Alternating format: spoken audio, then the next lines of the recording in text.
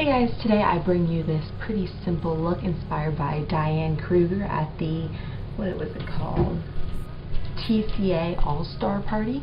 I don't know, it's just this really easy, simple taupey eye and a matte true red lip. So if you want to see how I got this look, please stay tuned. So lids are primed, um, brow bones are highlighted, and we're ready to get going.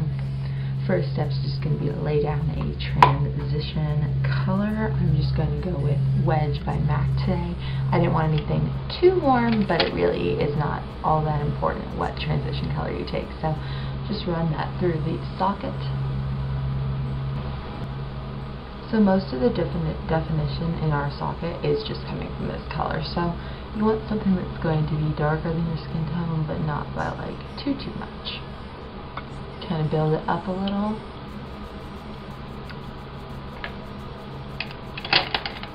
And of course going to blend it out.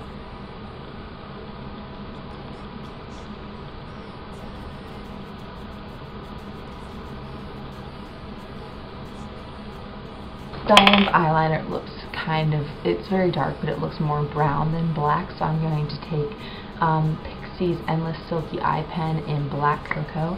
And we are starting with our eyeliner before our shadow today because it looks very much like it blends right into the eyeshadow. So I'm going to show you kind of how we get that effect. I'm just going to line right along my lash line and I'm not really going to take it outside of the um, eyelid at all. So just right along the lash line.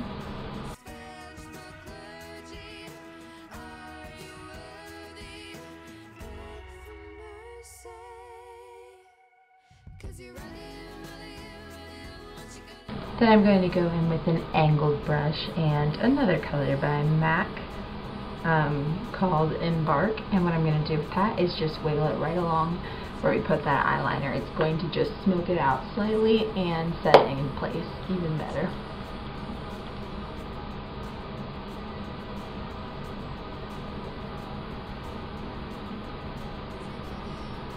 Then we're going to go in with Makeup Geek's Prom Night. This is just a taupey color you could use if you're sticking with MAC Satin Taupe. Um, and what I'm doing with this is I'm going to pack it all over the lid.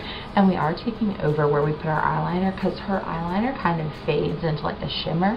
So by using your eyeshadow to do that, you're going to get that effect. And this eyeshadow is not, like it's pigmented, but it's not over the top, so it's not going to completely cover up your eyeliner or anything.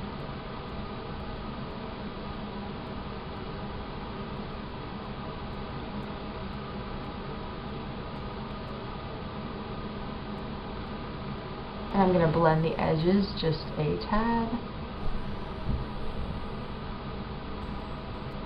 Pop in with a little bit more of wedge and we're going to just redefine our socket.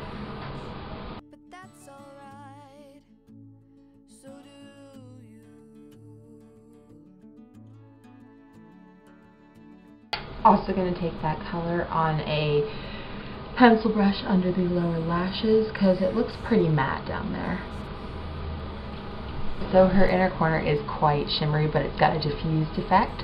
So to get that, I'm going to combine two colors, both by Makeup Geek. This is Shimma Shimma and Vanilla Bean. Vanilla Bean is just a matte version, basically.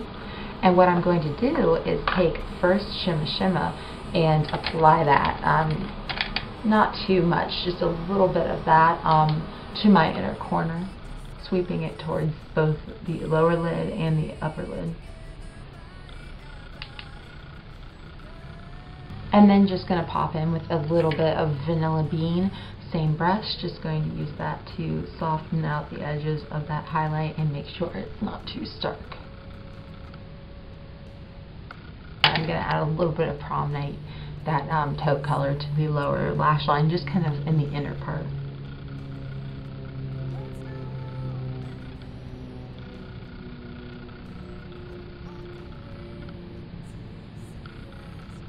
Blend that out and then we're just going to pop on some of my Jordana Best, Best Lash Extreme Mascara, top and bottom, but especially focusing on the top because she does have some quite um, nice lashes up there. And then move on to the cheeks and lips. For cheeks, you want something that's got a bit of a warmth to it, like a peach or a coral. I'm taking the Essence Silky Touch Blush in Sweetheart just to keep it soft. The centerpiece of the look is that matte red lip. To get that. I'm going to fling my lip liner, taking my NYX lip liner in Plush Red, and I'm going to line and fill in the lips with that. And what I like to do when I'm applying lip liner is I kind of buff it in with my fingers. It helps smooth out over the lips a little bit easier and it's just going to give you a nice canvas for your lip color.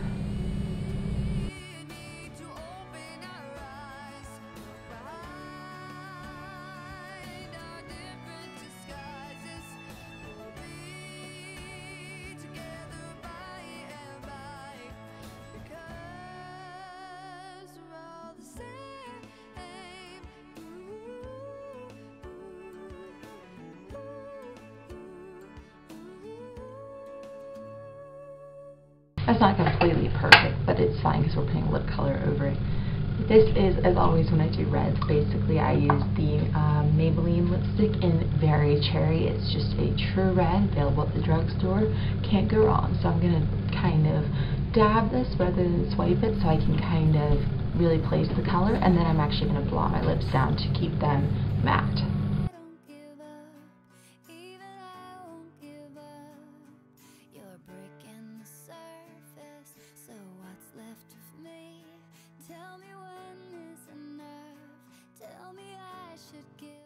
Okay, so that is my finished look. Hopefully you guys enjoyed this. If you did, be sure to like it below.